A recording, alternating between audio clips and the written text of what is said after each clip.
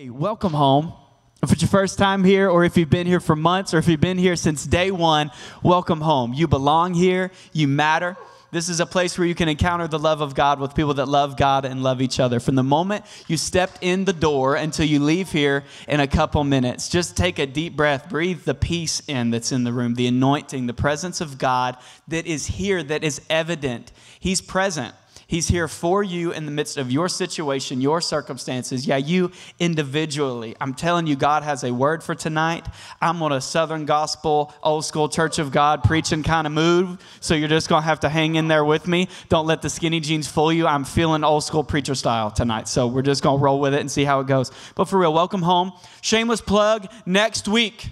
You do not want to miss next week. That second song they did, that is one of the originals that we're going to record next week. You don't want to miss it. Next Friday night at 7 p.m., we will not have normal service in here, but uh, on Wednesday, but we will be there Friday night for the service, so you don't want to miss it. Now, if you've got your Bibles with you, I'm going to jump into the Word. Anybody ready for the Word tonight? Man, anybody ready for the Word tonight?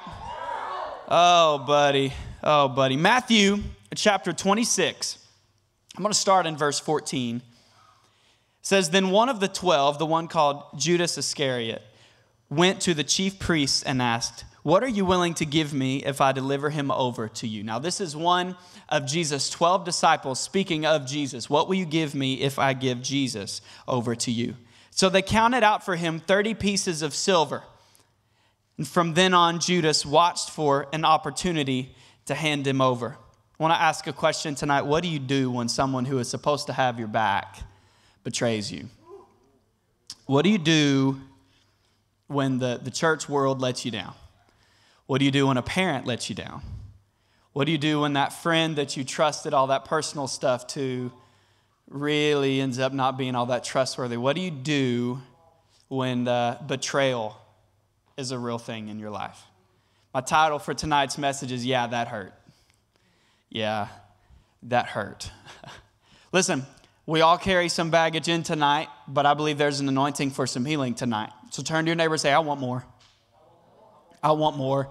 That shame, that junk, that anger from the betrayal, the issues, the whatever, I want more. God, if that looks like us having an uncomfortable conversation for a minute so I can get that out of the way, I want more. I'm ready to be free of that anxiety, insecurity, doubt, all the things. I want more. Anybody ready? I want more. All right, let's pray together. God, thank you for who you are. God, I want more. We want more tonight. And we have some situations that have hurt. and there is some betrayal and some issues, but I thank you that tonight there is an anointing in the room for progress. So, so be it.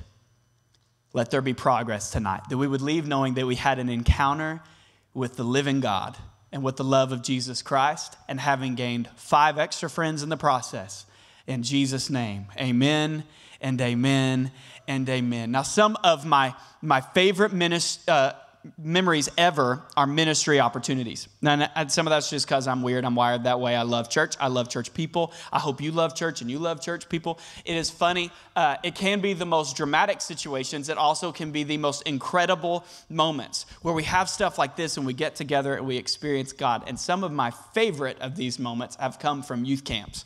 On my youth camp people in the room, you will probably hear me talk about youth camp very often because I just love youth camp. I love the whole scene. I love the fall retreats. We just got back a couple weeks ago from the Oasis family vacation. If you were there, you were there. Then you understand. If not, don't worry, it'll come up again and you'll get to go next time. But some of my favorite trips are where we end up driving like super far away. There was one trip when we went to New York, and that was just a whole other story for a whole other time. But a couple years ago, I got to go to Maine, and that was just incredible. Northern New England, uh, up there in the corner, uh, Church of God has a youth camp where they bring all of Northern New England kids together, and it is at the beautiful China Lake. And it's literally like the kids get to go swim in the lake. We had kayaks out on this just beautiful lake in the wonderful weather, and I'm like, man, serving the Lord's not so bad. You know, like it's an incredible experience. Now, the drive up there was a whole other situation way too long. Felt like it took three days to get us all out there. Jacob was with me. We went that first time and had an absolute blast. And it's so cool. What I love about these trips is when you go out there, you, you know, you take hours out of your time to go somewhere completely different. You're there on purpose. So you've got like, you know, I'm there feeling like God's calling me to worship ministry. There's an opportunity to serve the youth that are up there. And I'm like, man, God, I'm, I'm, I'm in a good spot right now. Like, God is using me. What's cool is Jacob's there in the same spot. He's like, man, yeah, I'm here to serve, and, and God is using me. Pastor Jeremy Geiselman, that preached at our retreat a couple weeks ago, he was there. So, all three of us together are getting to have this moment where we're stepping into the calling that God has placed on our lives all together simultaneously. And it creates this awesome, like, family dynamic to where we, I can see Pastor Jeremy, like it had been a year and a half before I saw Jeremy Geiselman again. And when I saw him, we're like, bro, what you doing? You changing the world in Chattanooga? Like everything's good. Just so excited to hear what God is doing. And there's this automatic, like, our shields are linked, ready for battle. All because we drove 20 hours to Maine and did a week and a half of youth camp, right? There's just something that happens when you do ministry together that causes this tight friendship. Again, my favorite memories really do come from these trips. I got to go back to Maine a year later, and I took a buddy with me. Some of you know Darius. Uh, he went with us on this trip, and we, we got all the way out there, and we finally got to stop and get dinner at like 7.30, 8 o'clock. We stop in this place and get seafood, and he was so hungry, and he threw down whatever we ordered. And then he looked at me, he was like, am I allowed to get dessert? And I'm like, bro, like – what do you pray about it, right? Like, what do you think? Like, of course, get dessert, right? Like, we drove you all the way out here, probably not gonna be able to pay you all that well. Like, get yourself some cheesecake, right? Like, that's where my head is at. So, dude orders whatever dessert it was, and uh, the, the, the waitress brings it by, and I kid you not, he goes, I love you. So then we're feeling a little uncomfortable already because he's trying to bring a girl back to Knoxville with him just because she brought him some pie. But the conversation continues on. He gets about halfway through this pie and at one point, he sat the spoon down and he just looked at it. And with complete seriousness, Darius goes, That is a good thing I did there. I was like, That is a good thing I just did. And like literally, if you could have been sitting there, he's talking to himself like he just gave a homeless man a jacket. Like he's like, yeah, that is a good thing I just did there. And if you spend time with me, and we ever go to eat anywhere, you've probably heard me say that statement at some point because it's so ingrained from the silly trip we took to do ministry. There's relationship equity here, right? There are times in life where you get to do life with people and it brings this proximity, this special, intimate relationship. We served the Lord together, and the favorite memories come out of that. Well, can you imagine Jesus' current situation? Because he lives his life for 30 years. God calls him, or it's time, you're really stepping into this full blown ministry for the, the, next three years. And the first thing he does is he goes and gets 12 guys to come along with him. So he lived like, if you'll allow me to make the comparison, he lived in youth camp mode for three years, right? It's just constant ministry with these guys. They've traveled all over the place. It's his ride or die. His closest friends, and one of them just completely pulled the rug out from under him. Now, Jesus, who was both completely God and completely human, has a whole lot going through his head. And maybe you've been in the same spot.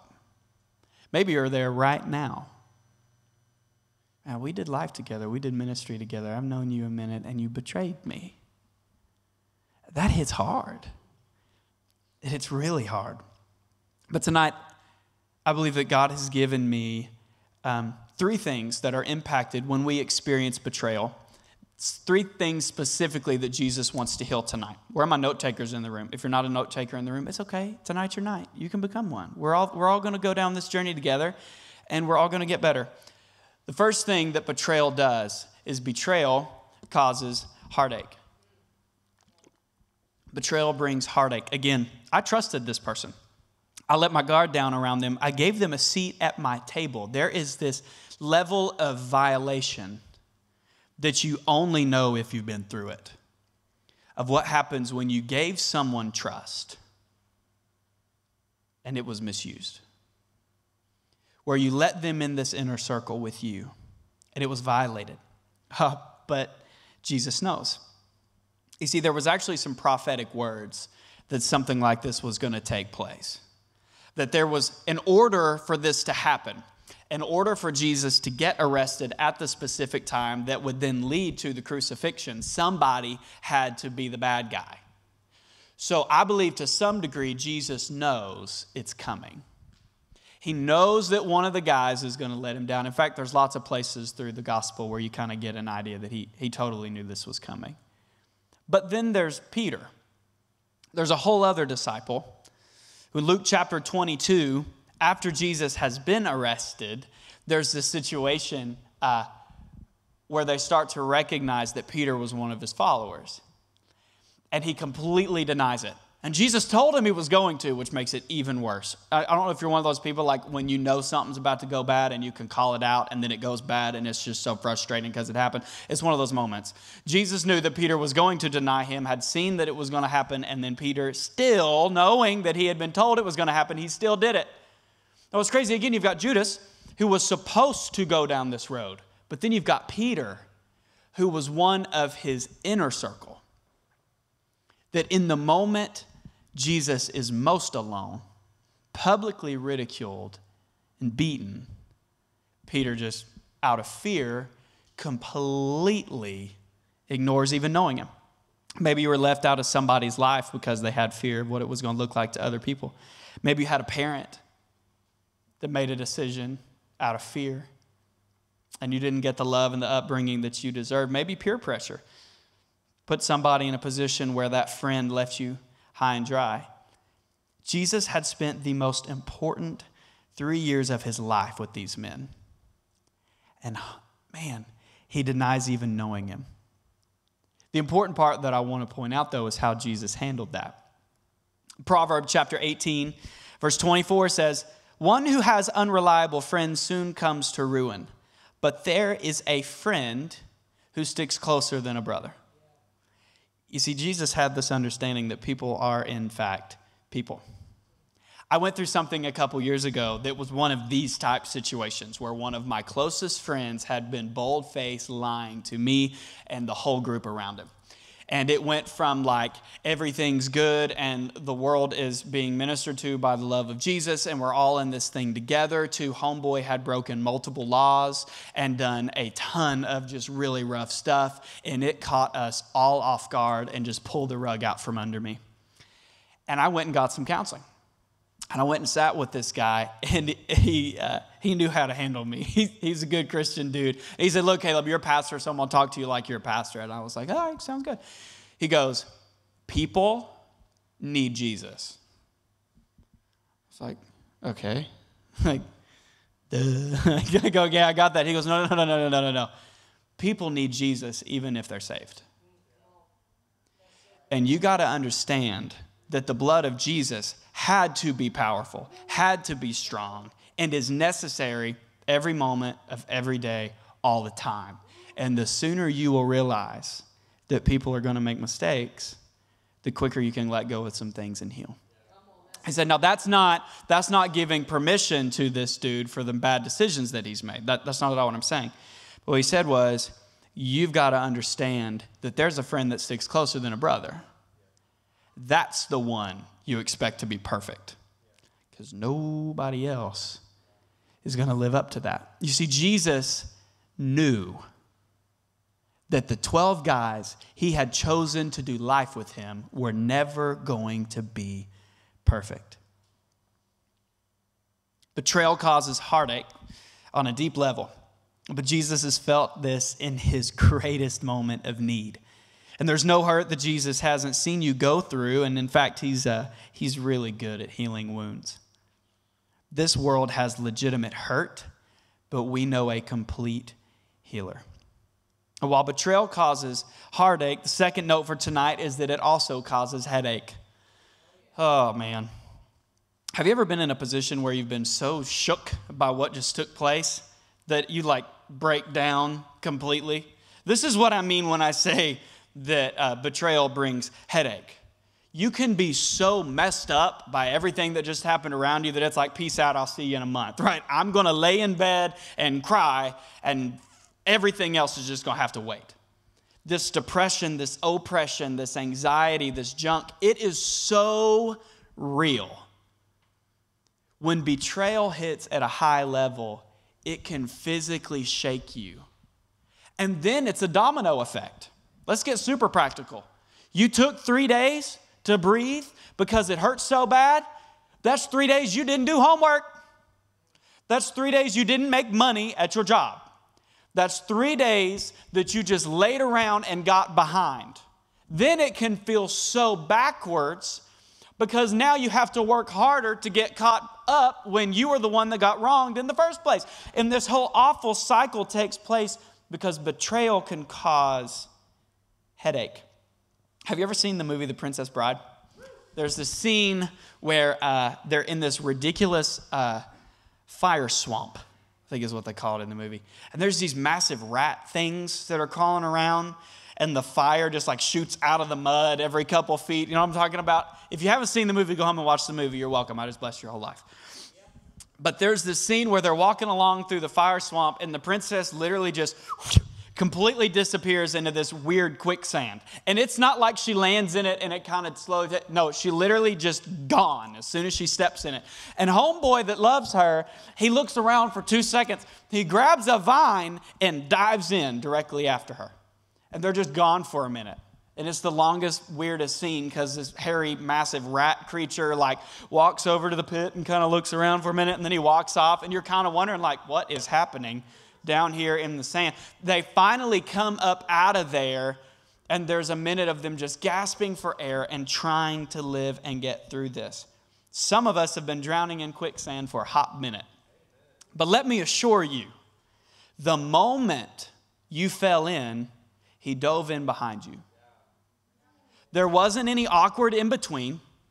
And it may have been a weird pause in the in between where that weird rat creature crawled across, but he was already in the sand.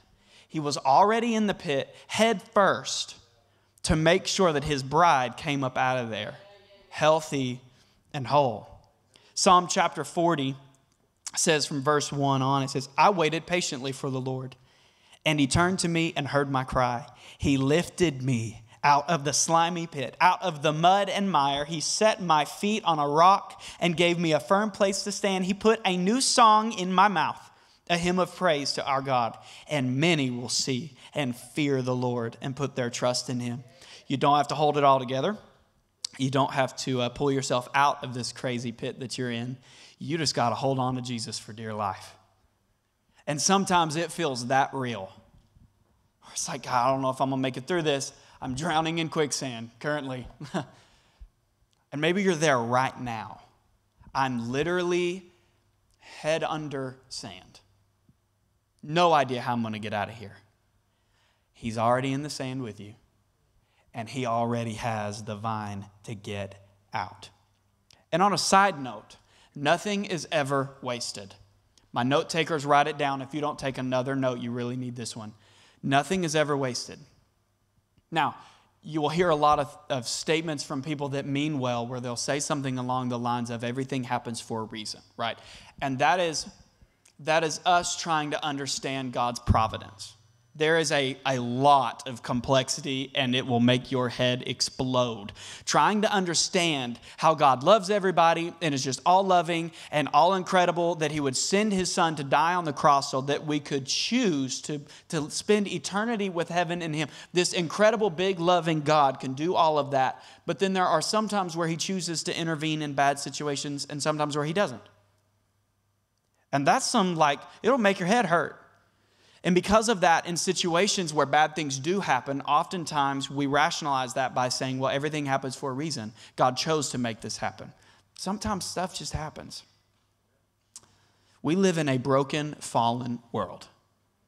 The consequences of the fall and sin entering the earth even caused all the crazy natural disasters. Like there's not anything that God just goes like, "Oh yeah, that was it." You can read Job and you can see the craziness of that situation and even that had an end goal in mind and a, a point where, where God said you, you can't go any further, right? You can't do more than this. So we try to rationalize the bad situations that have happened by saying that God allowed it to happen. And I, I generally push back on that. Because Mm. While some bad things do happen because God allows them to happen, you can miraculously watch how even that bad thing gets turned for good. And I have, again, I don't begin to understand how all of this works out. I don't begin to, to say, like, oh, I've got it all figured out, and here's how you handle it. But here's what the word says Romans 8 28. And we know that in all things, God works for the good of those who love him and who have been called according to his purpose. It doesn't say that he causes all things, although he's in complete control. We're all in agreement. but in the midst of it, in the midst of the situation, the circumstance, the betrayal, the heartache, the whatever, you're getting stronger because he refuses to let you go through this stuff and come out of it the way you went into it. He loves you so much that he's going to hold you by the hand in the middle of the heartache, in the issue. And even though the situation stinks, he's going to figure out a way to bless you in it because he's just that good. And to quote the great theologian Kelly Clarkson, what doesn't kill you makes you stronger. Betrayal can cause such awful heartache, but it can also cause some headache. Don't settle in the mess because Jesus is willing and ready to pull you up out of it. It brings heartache, it can bring headache, and lastly, it brings hesitation. And this is the one that will tear you up if you let it. Betrayal brings hesitation. There's two different ways broken trust in, in relationships and even in work environments where you are unable to trust people to keep private information just on a friend level or even unable to delegate. Now, this is something that I really struggled with. When I went through that situation a couple years ago, I really struggled with this because I can be, um, I'm oldest child. 100%. I'm totally the oldest child. I want to be in charge. I want to be in control. That is who I am. Earlier, when Trevor was like, Who likes to be in charge? I was like, Oh, wait, I'm not supposed to play the game, right? Like, that's what went through my head. I'm like, ah, Me, I want to be in charge. I always want to be the one to drive. Pray for my poor wife. She loves me through it. But when this stuff happened and betrayal took place, and I was so shook, the first thing I did is went, And I realized there were things even here at the church that I started doing that made no sense. Things that should have quickly been delegated. Things that I had no business working on. I didn't have to be the one to set up all the pipe and drape. I didn't have to be the one to pick what color the lights were going to be, right? Things that I didn't even realize I was doing, I started doing. And then it was like God was going, hey, homie, like I've sent incredible people that are better at those things than you are there can be such a heartache that there is a hesitation to let anybody help, even on a friend level. The second way that this really tears you up is in relationships. This hesitation to ever remotely let anybody near you. And not just dating, but friendships. I'm gonna, I'm gonna love you. We're gonna be bros. We're gonna be good but at about right here, right? Like you've been social distancing before social distancing was cool, right? Like you, you, you know what I'm saying? You've been right here. Don't come any closer. Mm-mm. There are a lot of different safety mechanisms intensity, anger. You can put up such a front for cancel culture stuff, that's a whole other conversation. You can put up this front that if you look at me the wrong way, I'm canceling you and you out of here, right? And you can have such a hard when really that's a safety mechanism because you're afraid to let anybody close enough to where you're going to get hurt. It causes hesitation and friendships and relationships and everywhere in between. But you cannot live life alone. You were not created to live life alone. Extrovert, introvert, everywhere in between. You cannot do this on your own. That's why we're here. That's why we're here. A place where we can encounter the love of God with people that love God and love each other where you can leave here and have encountered the love of Jesus and gained five extra friends. I don't just say it every week because it's catchy, it's because this is who we want to be. A place where we can link arms and make it through all the mess the good, the bad, and the ugly. The moments where the conversations are light and fun and great and dandy, and the moments where things are hard where it's conflict, where it's difficult, but we're family. And that looks like trust. I believe there's two different roads to reconciliation here, and I really want to land in this. I'm going to close in, in a couple minutes, but I really want to I want to touch on this before we get there. Super practical. There's two different kinds of reconciliation from uh, betrayal. The first heals that individual specific relationship and allows for healing. The second brings long term distance from that individual, but forgiveness that allows new individuals in. In John chapter 21, this is after Jesus has, uh, has been crucified and he's risen from the dead. And he has this conversation with Peter, who had just betrayed homie, comes back and he asks him this question Do you love me? And he asks him three different times. Now, this was not because Jesus was insecure, right? On our end, that's the question we would want to ask. You just betrayed me. You just ignored me. You just whatever. Do you even love me? Like that, that is not where Jesus is coming from here. What Jesus is doing is he gets face to face level right here with Peter. And he says, Do you love me? I know that you do. So don't walk in all the shame and all the mess from the bad decision, from the issue, because again, Jesus knows he's human. Do you love me, Peter? Or do you know I do?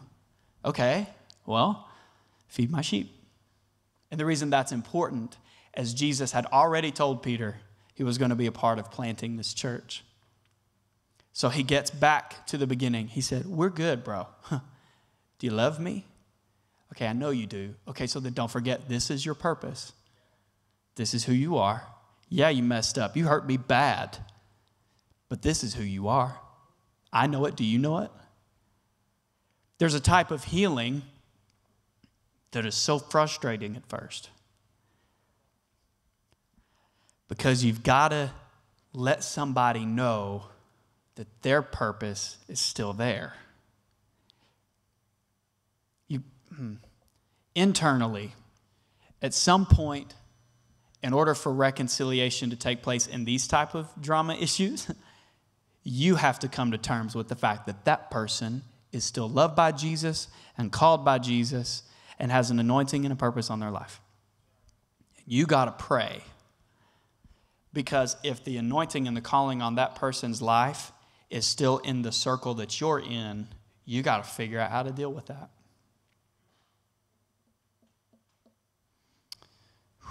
I'm going to move on. The second kind, second kind of reconciliation, I'll leave you alone on that one really does involve some healthy distancing. Some like, okay, we're not we're not supposed to be in this together.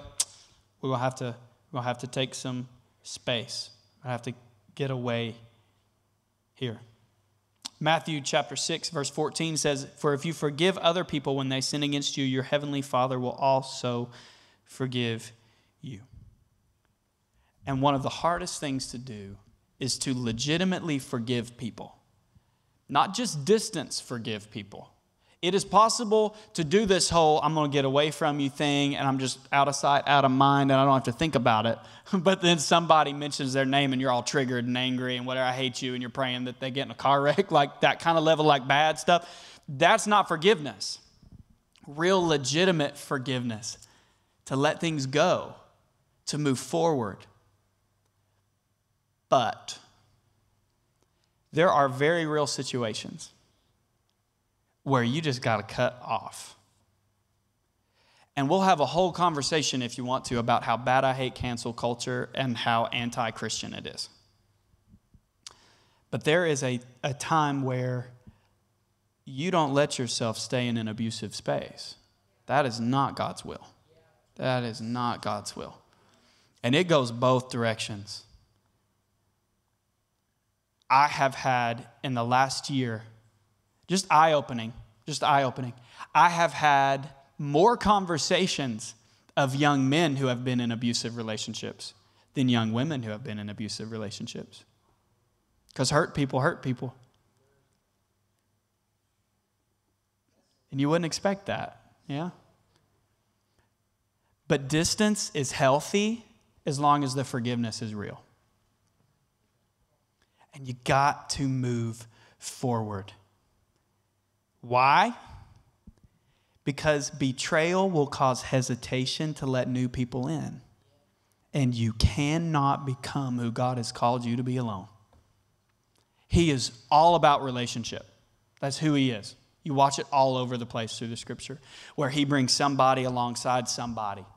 And you have this the three of them, the four of them, the 12 of them, the tribes, right? You have this family that does life together. God has a purpose and a plan and a future for you that involves really great, healthy friendships. That's not just crazy optimism from a goofy pastor, that's honest prophetic truth. So maybe you need to hear it. There is a plan for your life that involves awesome, happy friends. that you trust, that you like to hang out with, that you want to be around. There's a future for your life that looks like a spouse that loves you for who you are. No, really. There's a future for you. God has a plan for you. You don't have to settle in the mess. You don't have to just sit in all of this. But you have to be okay to deal with where you are in the reality of the situation.